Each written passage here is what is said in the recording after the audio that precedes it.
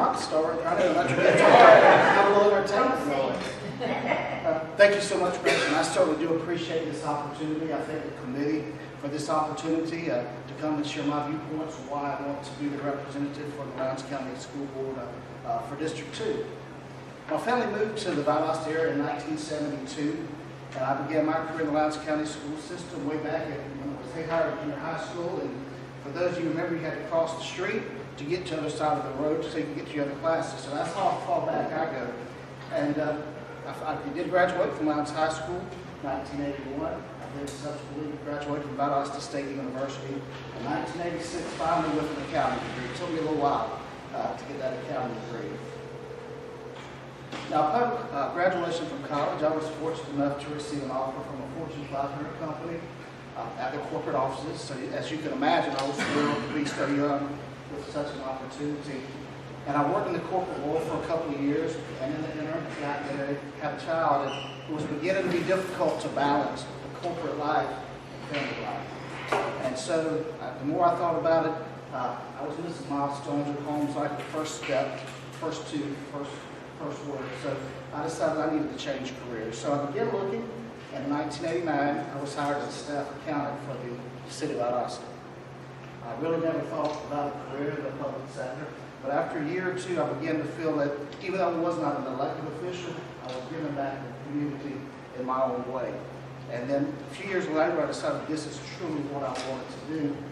But I needed some more experience, you know. And I sat in the back corner of City Hall, not seeing anybody, not talking to anybody. So I needed to get out and get some experience. So in 1996, I was named the Director of Financial Services for the uh, City of Thomasville which was great for me because Thomas was not requiring me to move.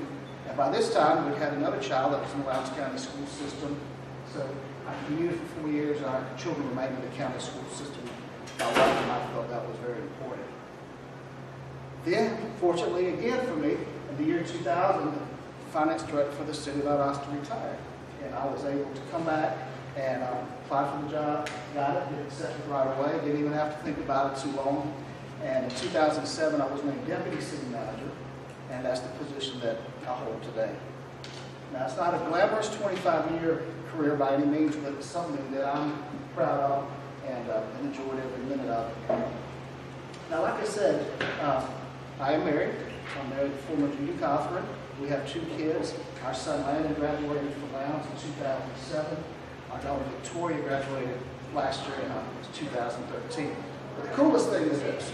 I got a almost 50-year-old grandson that's going to be the coolest little Viking that you have ever seen. So I throw that in. I can't do this without, uh, without uh, saying that. You know, since the announcing my candidacy for the school board, folks just come up and ask me, Mark, why are you running for school board? Well, you, know, it's hard to, make, to make an answer that sounds a little difficult. For me, it's just quite simple. It's about our kids. It's quite simply bottom line. What I mean by that is what I envision for our school board is a school board, is a school system where our kids' success and achievement is they, they are achieving at a level where it is normal practice and it's not the exception. That's what I envision. I'm envisioning a school system where there's such a firm foundation laid for our kids that wherever they, whatever they pursue to do in the future, whether it be college, tech school, military, administrative job force, they're shining beacons of whatever they decide to do. So that's why I'm running. That's what I'm passionate about. Uh, I got that from the Lowndes County school system, and I feel that's something that I, you know, I can get back. Now, with that being said and done, it's easy to stand up here and say that, but a lot of work goes into it. A lot of the school board members' responsibilities are budgetary in nature. As I just mentioned, I've got a 25-year career in public finance. So I think that sets me up perfectly for those type of responsibilities, and I can hit the ground running, which I think for District 2 is very important because we don't have an incumbent. All three of us are new to the, to the area, so I think the budgetary measures, that's very important. I know the difference in a public dollar and a private dollar, believe me. I do it every day, I've been doing it for 25 years. With that public dollar, you've got to stretch it, shake it, turn it upside down, and get every penny that you can. Uh, because there's no liberties that can be taken with that public dollar. So very, very well aware of that. You know, and I think really, it's really simple for me, is uh, what I found over in my career is that, that you budget and you expend in the good times, just like you do in the bad times. That way, no pun intended, you got a rainy day reserve to pull on, and perhaps when the tough times roll around again, we won't have to have teacher furlough days. Technology can be innovative. You've got to prepare for the future, and I think that I'm very strong with that with my background. You know, another, uh, another area that is school board responsibility are policies. Much of the policies are dictated from the state, mandated from the state. Not lot you can do, but I'm the kind of person that I may not can do anything about it. But if I don't like it, I'm gonna let you know, I'm gonna keep talking to you until I can, you hear me. And, uh, policies are necessary, absolutely, to the structure of an organization. But policies many times can create an inefficiency where you think you're creating efficiency. And uh, to me, sometimes what I've learned my lesson is really, when it comes to policies, less is more. Um, Because like I said, sometimes you're creating a bottleneck in an operation where you think that you're creating an efficiency. So uh, that's why I view policies. Another reason we run for school board is there are many things coming up the pipe that I think school boards are going to be very interested in and discussing. One is the Common Core Principle. I'm not going, and guidelines. The state legislature just passed this the last day of the session. It's, it's an interesting topic. It's been debated. Uh, it's not new by any means. It's been introduced slowly to the school system. Uh, the governor just signed it to, to implement last day of legislation. And here's how I look at that policy. One of the things that, uh, I'm not going to get on a soapbox, I promise, but one of the things that, when I look at a policy, I look for that, if it's, it's a causing an unintended consequence. And I will never support a policy that takes creativity away from the teacher and out of the classroom. And what I mean by that is this, is that sometimes we put so much focus on a standardized test that teacher almost believes they have to teach to that test. And they can't. And, and, teachers are professional. They work hard. They go to school for years. We need to trust their judgment and their creativity and getting our kids to learn. It's not all about that standardized test.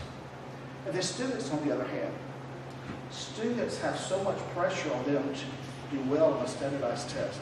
I've experienced with my two kids. And I, so it makes me wonder, are we teaching kids to memorize the material just to do good on that test? Or are they actually learning? And as we all know, learning is a layer. You start with the basic layer. Each year, you add to it. Well, that student memorized the first year just to do well on a subsidized test, a standardized test. What do they do the next year? Do they just keep missing it? So those are how, that's how I approach policies. Any legislation like this is going to have good and it's going to have not so good. Um, but that's how I view it. I will never, like again, support anything that takes that creativity out of the classroom. And I'm not saying that's what Common Core does. I'm just saying that perhaps is an unintended, uh, unintended consequence that I would like to be a part of to make sure that does not happen. Other things that are coming down the pipe for school systems is a new look at charter schools.